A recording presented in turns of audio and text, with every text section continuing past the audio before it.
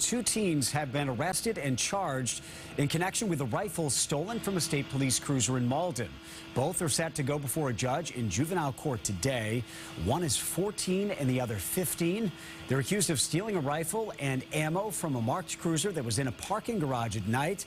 Police later found the rifle in a home connected to one of the boys.